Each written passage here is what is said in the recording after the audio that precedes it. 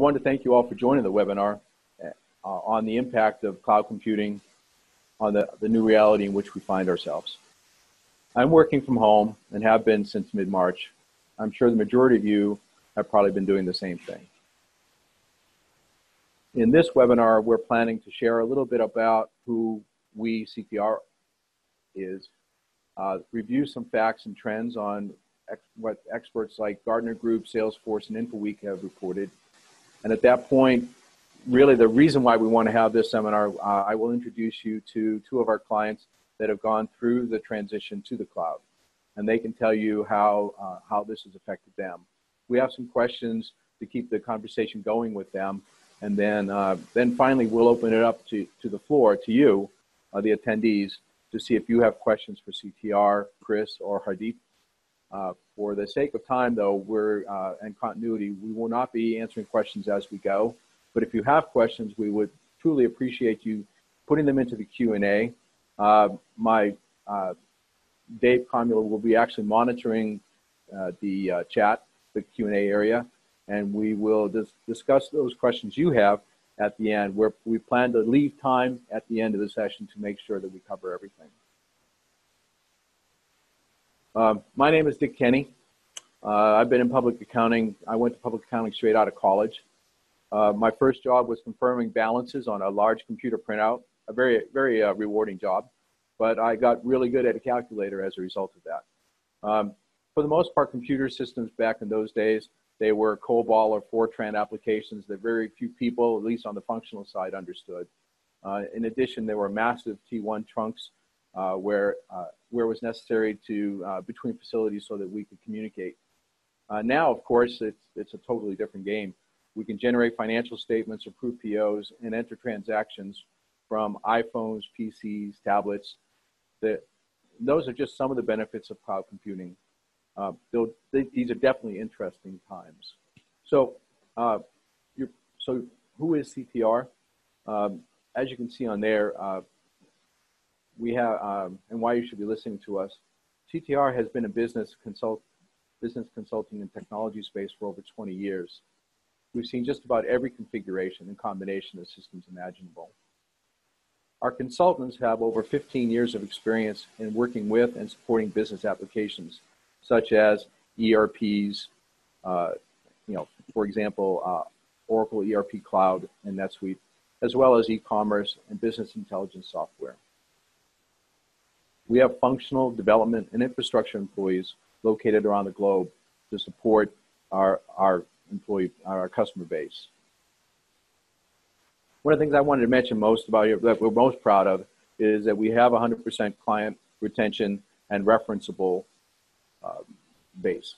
Uh, we, we take great pride in maintaining our maintaining that that uh, status. Okay, um, here are some industries that industry verticals that we've worked with during our, our time in business.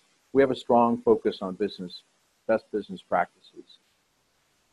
So not only do you get the technical expertise that you need, but we can also make sure that best practices are sewn into your business systems and processes.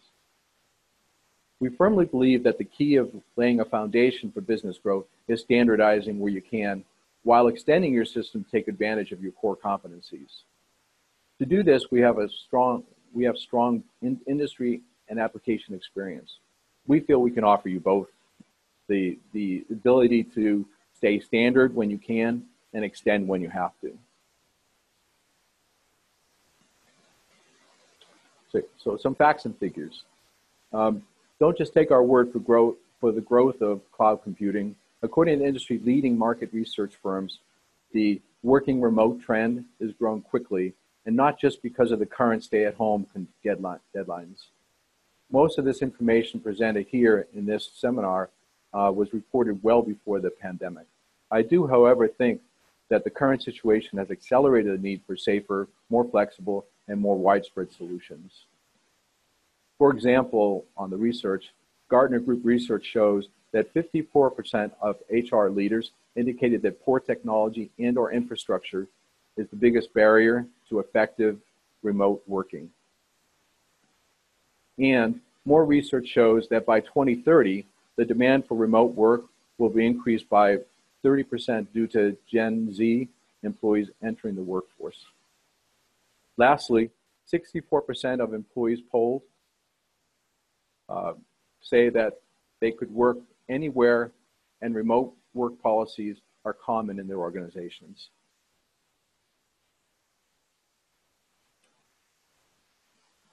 Again, more numbers drive home the point that more and more companies are looking for ways to leverage their benefits of remote work and that their employees and potential employees are buying into this trend as well.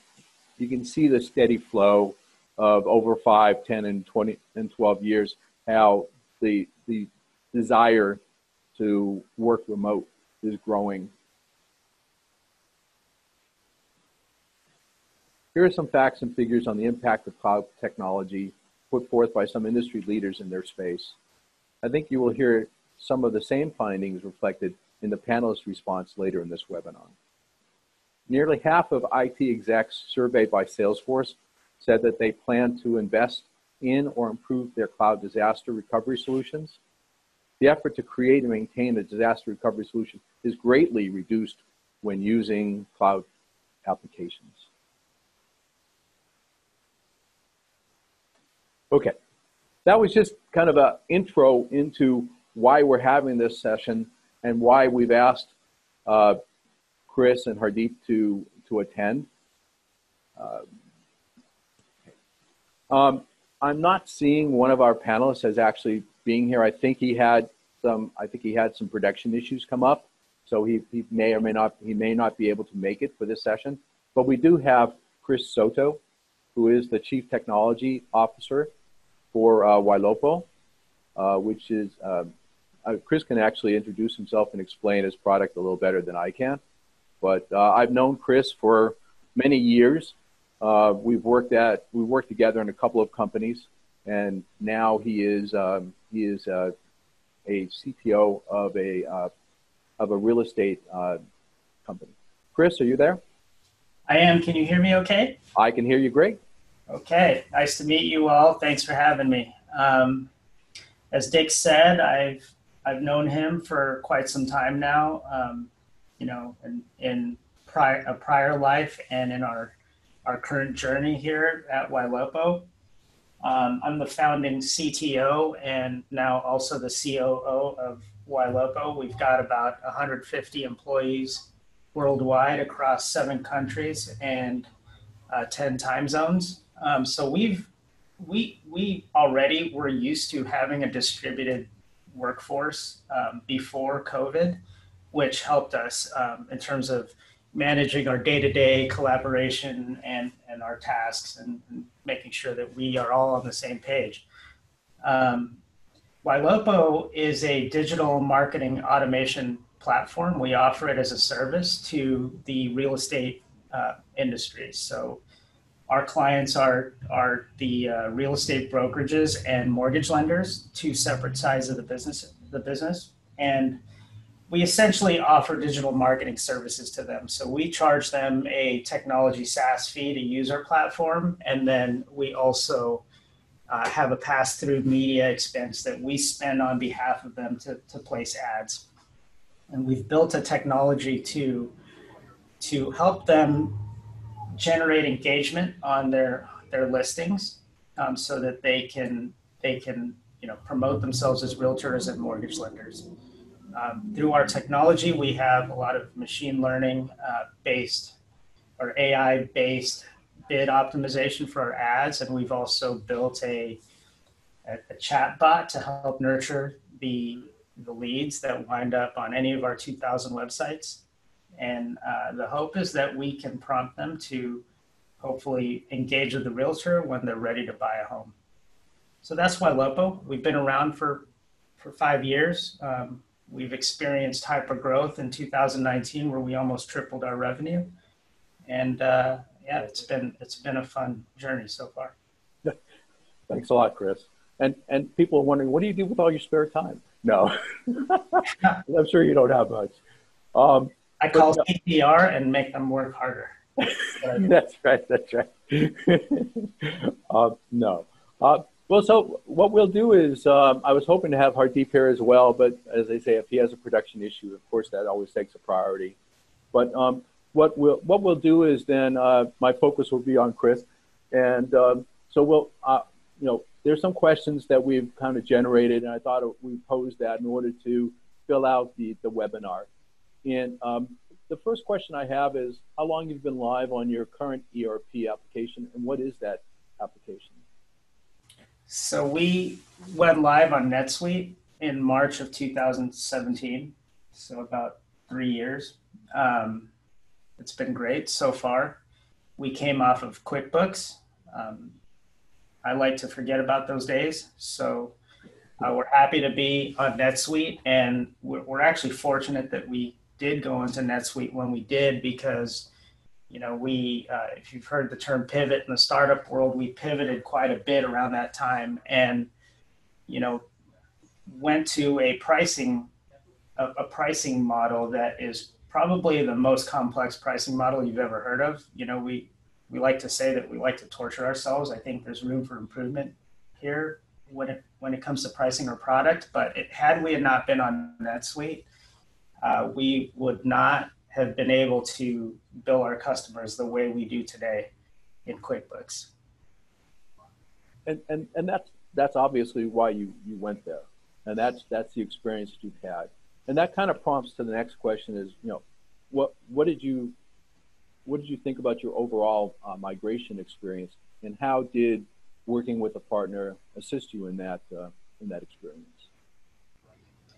Well, um, it's a loaded question, Dick. But I know it is. yeah, uh, you know, it, it, it went relatively smooth. You know, um, I think a lot of the. Uh, let me back up a step.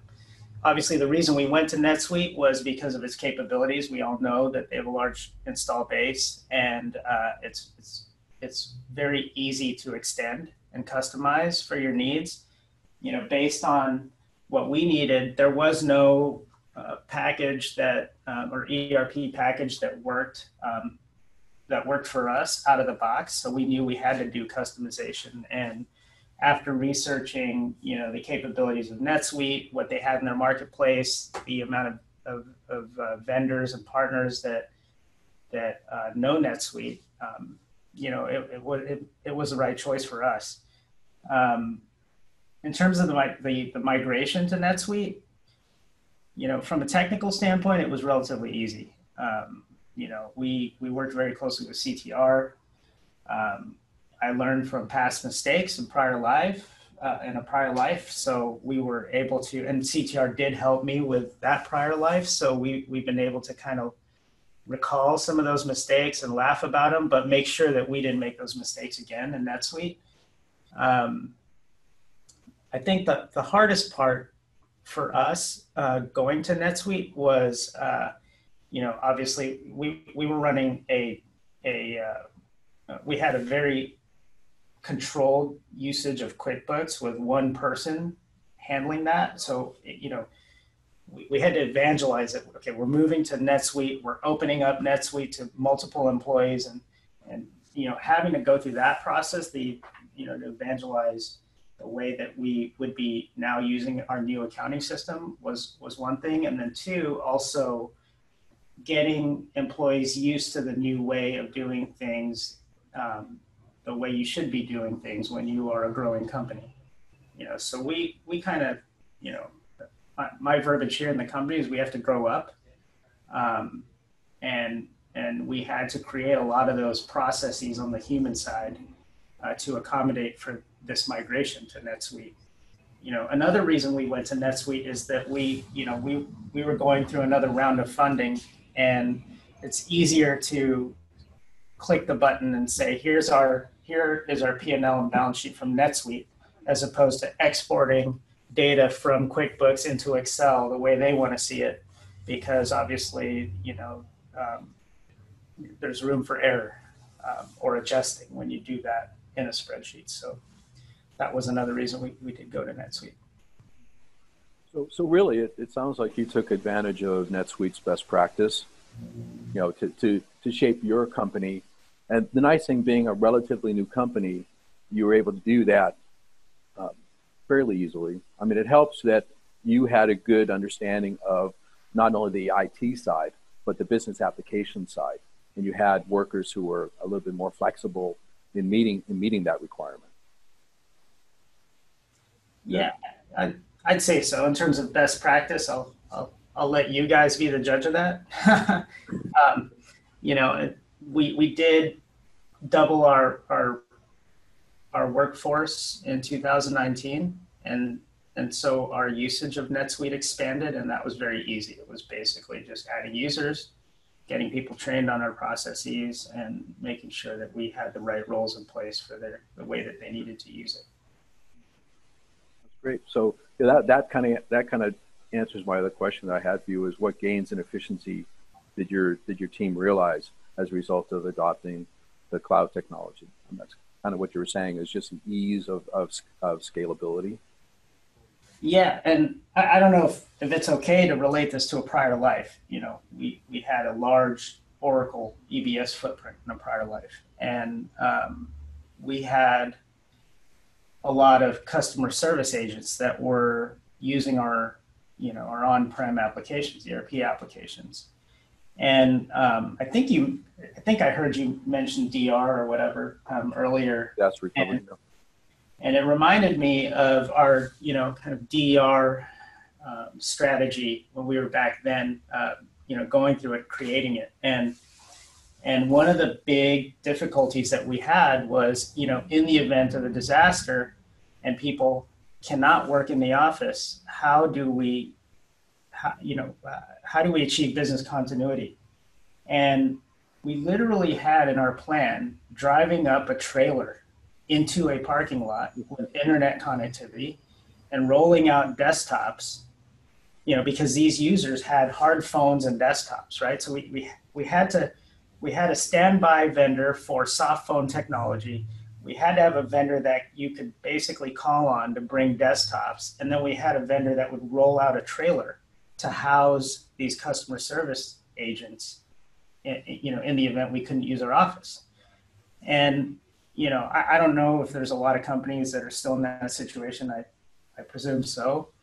Um, but where we are now, you know, when we made the, when, when COVID hit, you know, we really didn't have any disruption in service. You know, um, all our employees have laptops. We have soft phone technology.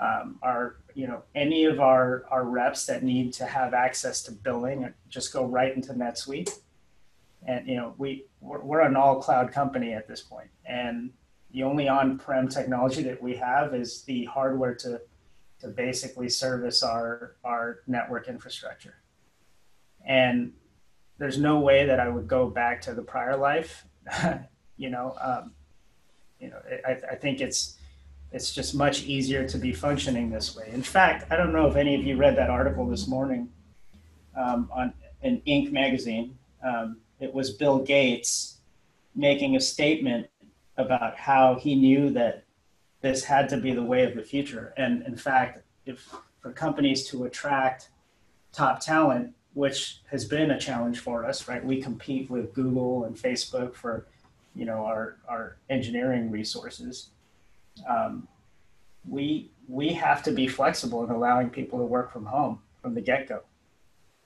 And so technologies like NetSuite, you know, like Zendesk, what we use for support, you know, it makes that very easy. Um, so I, I, think I answered your question. Hopefully I did, Dick. Yes, you did. Yep. Okay. Yes, you did. And and again, that that there's kind of a series of questions we had on uh, on how you know how COVID nineteen has has impacted companies, and and you you know you kind of talked about that your your ease of rolling out since you already had a lot of uh, remote workers. Certainly that that uh, that bettered you to to have that capability, but still, you know what we've been finding is if you have a laptop and you know if you're a uh, information technologist if you're really doing transactions and certainly if you work in a manufacturing environment where you have to have a machine available, it, it, it's not quite as easy. But if you're basically transacting, it certainly makes uh, being in a cloud environment like NetSuite certainly makes your life easier and you can scale just by the just providing a laptop and accessibility. And if the person has Wi-Fi or internet access at home uh, or any location, they can pretty much do that. As far as uh, have you met any encountered any problems that you know with operating in the cloud that uh, you've had to resolve, and um, and how have you resolved those problems? Well, you know, I keep thinking about the human element, right? Um, but that's, uh, you know, we can get to that that later. I, I, guess, you know, some of the challenges, just because I, I I'm, I'm more technical um, by trade, is you know it took some time to get used to not having the database right there for me to just query. Right, you have to get used to going to the right you know channels or processes to get the information that you need. I can't just like whip up an editor and write my queries on the fly. Um, but I understand why, right? You know, I uh, the more developers I have who would have access to the database in that way would make me more nervous. So I totally get it. Um, so I, you know, I think it, it, just takes getting used to, um, you know, not having that data, you know, accessible in the way that I've been used to with on-prem technology. Um, but certainly those the, the, the benefits outweigh those those challenges because we still do have access to the data. In fact, you know, we, we did just buy the Suite Analytics Connect um, feature or module of NetSuite. So that's the next project that we're going to tackle. We're looking forward to that. Yeah, I'm, I'm sure you still, you know, it's it's still a path, still a path forward. You're always finding um, new. Every time you find some, find new information or a new product comes out or a new sub product comes out, you find a need for it eventually, and then you find a way to apply that to to your business. So that really doesn't change from an on-premise. It's just the ease in which you can add applications the ease in which you know all of that works, and because you're still relatively standard standardized uh, compared to where you were before, um, it, it does make that migration up easier. Uh, you mentioned like Suite Analytics and all. The the implementation the implementation of that and the use of it is is made to be much easier. I would think for you. I know you're the CTO, so you can do much more technical things than I but also introducing those new functionalities to your users certainly is easier with a product like NetSuite, I would think. Yeah, yeah. You know, I, I, I would say um, one of the things that that uh, you, you need to think about is choosing your vendors um, wisely, you know, and I think that probably sounds like common sense for people on this call and this webinar. But I will share with you guys that, you know, um, very recently we had another vendor who I won't name have an outage where they had lost some of our data. And, uh, you know, fortunately we had that data uh, in some of our other systems. So we're able to recover that data on our own.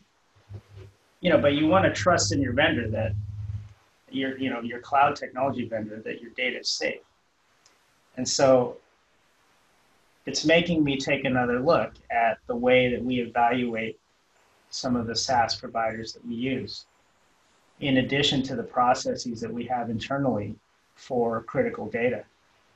Fortunately we do have that data but like i said you want to trust the vendors that you use and you know, being an oracle customer for over 20 years um, you know, I NetSuite's on the the not not really on the top of the list for where I have to worry. You know, Oracle's been known for um, backup and recovery, performance, and all of that. So, you know, um, we don't have to worry about those things with NetSuite. That's what that's what you want to hear. Um, that's great. And and as far as um, your users, um, do, do they, I mean, do you use managed services now? I mean, I know you, you know, you're very technical yourself, but there's only so much of you. And so, you know, when you, when you put a system in like NetSuite and, and it is relatively easy to implement and relatively easy to, to uh, negotiate through, um, is, how important is, is a managed service uh, relationship with, with, with, the, with your vendor? Well, for, for us, it's, it's very important because most, if not all of my technical resources are devoted to engineering our product. So, you know, we, we kind of have this, we have this split, right? We've got, you know, the technology slash engineering resources and they're, they're, they are who I rely on to build our product that we sell to our customers. Then we've got the IT side where we have all of these SaaS, you know, um, you know, SaaS applications, including NetSuite. We don't have dedicated resources here, um, nor does it make sense for us to to have full time resources for some of these applications. So we um, we rely on CTR heavily to support us. Um, and you guys have been there through some of the uh, you know some of the the tough times. I say tough when we're trying to accomplish six months worth of work in three months, and um, you know because that's kind of the, the speed that we like to move in. You know, all companies do, um, and because we don't really have a full time NetSuite, you know, pool of resources here. We we the only choice we have is to rely on our partners and and I think that that's the case. I I just I'm always I always like to make sure that anybody who's looking at an ERP package, especially a SaaS, you know, understands that you know it's it's not a plug. It is a plug and play, but it's not. You know, there's still there's still a lot of support uh, that goes into managing the system, um, and the more you can um, decentralize that, the better off it is for people, especially with, with, someone like yourself, because you have so many locations that you're supporting. I mean, both both the United States and offshore. So it's, it's nice to have somebody that can also um, support that same uh, location basis. Um, so that's great. Um, you know, I, have really covered most of my. You, have been really great, and you've actually read ahead on most of my questions. So you've actually been great on uh, answering answering my questions. But I was wondering if you had any other any other thing you wanted to comment on before we opened it up to to the general population. Yeah, I would just say that you know, and probably to the audience here, I think they fully understand, you know, cloud applications uh, to the extent of you know how we can benefit from them being in the cloud at, at this point. You know, um, if not, I think there's a lot of documentation on why. I think uh, it's very easy to forget about the human element. And and even though we were distributed, we were a distributed workforce going into COVID, you know, um, and I make it sound pretty, you know, we we had our share of challenges. You know, um, it, it's it's hard to collaborate at the same level when you're not in the office together. And we've I found that we've had to adjust the way that we even talk to each other on Zoom for example. You know, um, you know, you, you, you have to ask questions in a different way to solicit that kind of engagement. It's very easy to be distracted when you're at home. You know, on top of that, we've, we've seen, you know, explosive usage on our communication tools. We use Slack here. And what, what happened early on is we had haphazard chat rooms and channels being created. And so we had to implement a standard way of communicating and making sure that we had to break down potential silos within Slack. You know, I know this sounds kind of funny. Pre COVID, you know, I would have laughed at all of this probably, um, but we had to go through it. And in the end, I think, you know, we've been able to optimize the way that we work in such a way that, you know, we really probably don't have to really come to the office when COVID's over. You know, we, it's going to be a while for that, we think. Um, we, we do have an office in Phoenix that in, in Arizona they've opened up everything, but we've uh, instructed our employees to stay home just so that we can make sure that they're safe. And uh, we're going to continue to do that and um, and not have to worry about any kind of degraded service or disruption of, of service or quality of service. And, and that's so true because you see, you, you know, the large companies that they've gone, you know, that 40, 50, 60,000 employees, and they used to have, you know, 400 offices across the United States. And now they're saying, well, maybe we'll get rid of some of those offices because we really don't need, we don't need to have uh, brick and mortar offices anymore because people are actually more comfortable being remote. And if the software that you offered to them, I mean, you've mentioned a lot of like softwares, and for you, it's just throwing out like Slack and all that. But you know, it, it's just because you're so uh, you're so you're so good at offering SaaS SaaS product or cloud product, it means nothing. But with without those, because we use Team and we use a lot of uh, software as well, and it's just so nice to have uh, access to all of that. It is, it is true. You have to get, you know, you don't see, I'm a, I'm a guy who likes to be in the office. I like the physical interaction, but I have gotten used to doing more with video chatting and doing more with all that. So you can still see some of the physical, uh, physical uh, aspects. But I, I, you know, but I have noticed over the last three and a half months that it has become easier and easier to work remotely you know, we, we have, I have built the rapport with my colleagues and with my clients that I know how they say things now means, means more than what they say sometimes. So no, I, I agree with you. It, it, it is, it has been a challenge, but I think it's one that we're all getting used to. But no, I mean, th- thanks for your input, Chris. And what I wanted to do just to make sure that it, if we do have questions that they're being addressed is that I thought we would open this up. And I know Dave is, is monitoring questions. So if you don't mind, I'll ask Dave um, to read out some of the questions he might have. Dave?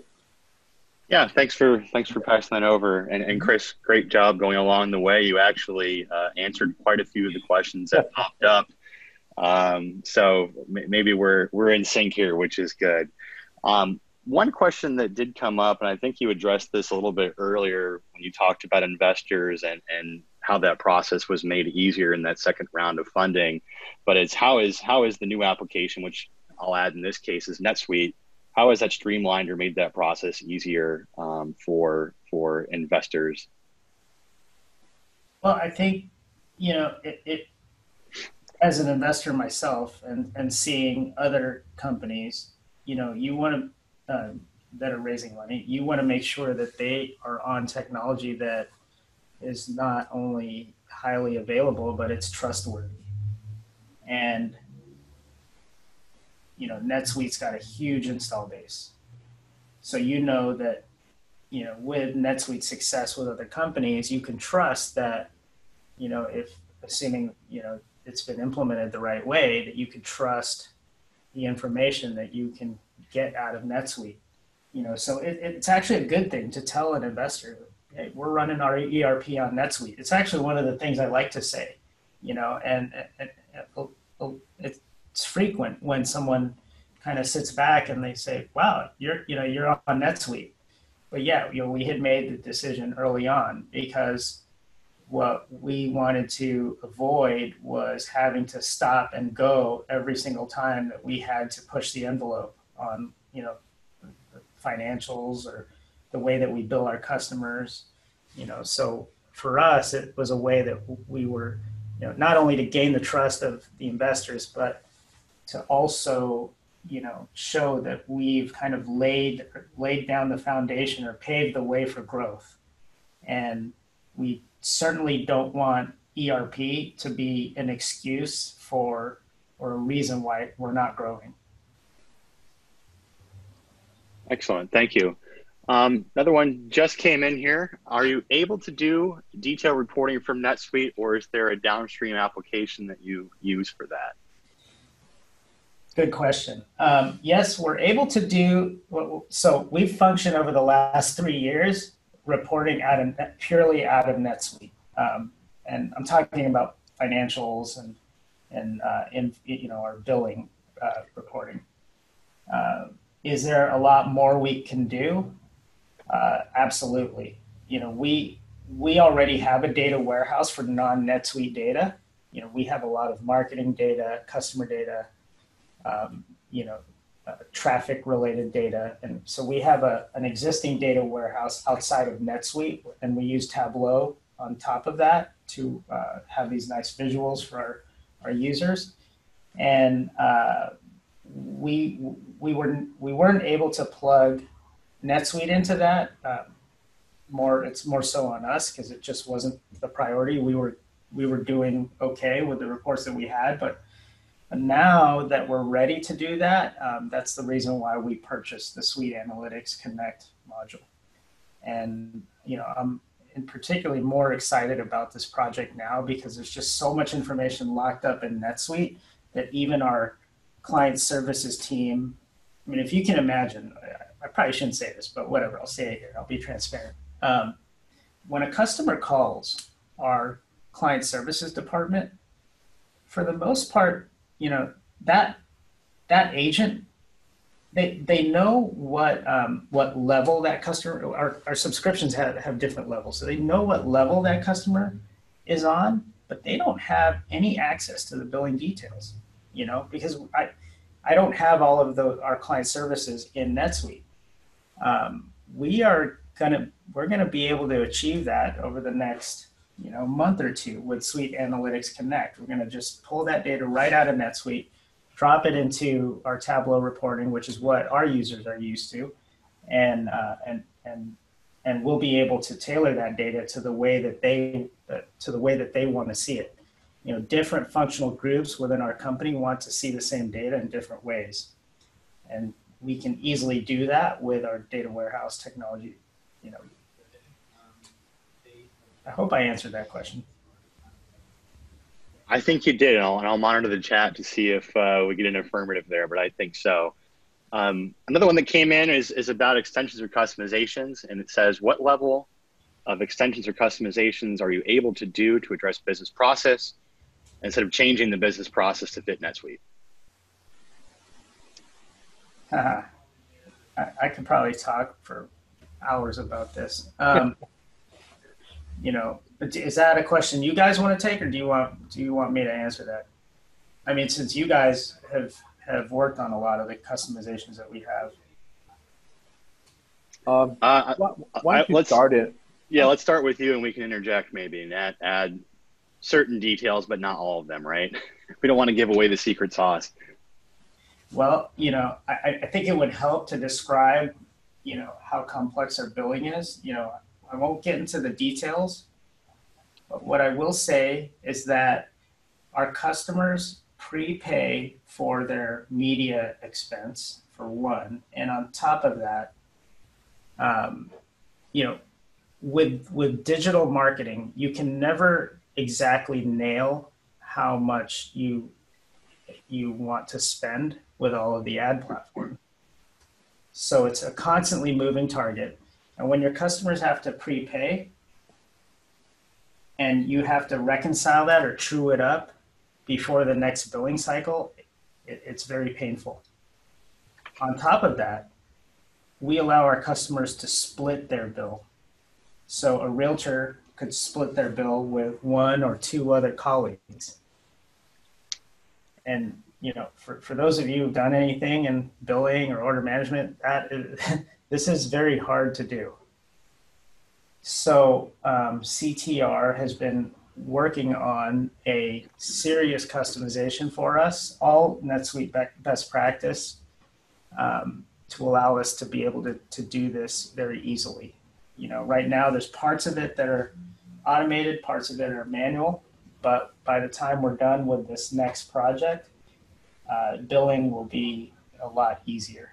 And in terms of business process, you know, a lot of the manual stuff will go away. And I'm very much looking forward to that because it will reduce our errors drastically. And that's kind of what we were talking about, Chris, is that, you know, those things that you can adapt to with NetSuite's best practice says to do it this way, and it and it's not significant to you to do it another way, then of course you would do it. You know, why not? But those things that you consider your core competency, which is obviously billing is always near and dear to, I'm an accountant, so billing is always near and dear to every accountant that you want to be able to uh, reflect, you know, how you do business and how you do that rather than say, okay, well, this is how NetSuite does it. No, this is how I want to do it. And I think that that's really where the question was, is, is NetSuite flexible enough to support those times that you, you have a core competency that you want to be able to follow rather than changing your core competency to reflect what NetSuite can provide. And I think that that's what you said is you, you picked and chose. So those things you could switch because you're coming from, you know, a, a small system and you know, it didn't, it didn't matter to you sometimes. So you took NetSuite's best practice. But in this one here, you knew what you wanted and you knew how complex it was. And so you, you, you adopted that. You said, no, this is the customization that we have to have. And this is what we're willing to spend on to, to make it work. So I think you, you picked and chose what you needed. But you did say if, if NetSuite has had a good best practice, you did ad- adopt that best practice and, and switched your, your internal systems to reflect that. Does that make sense?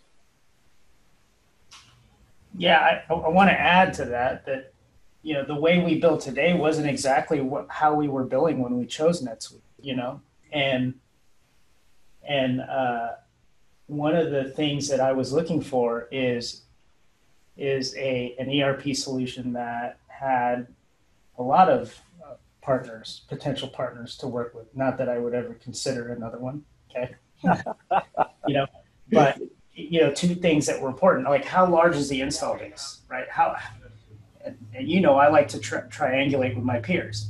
So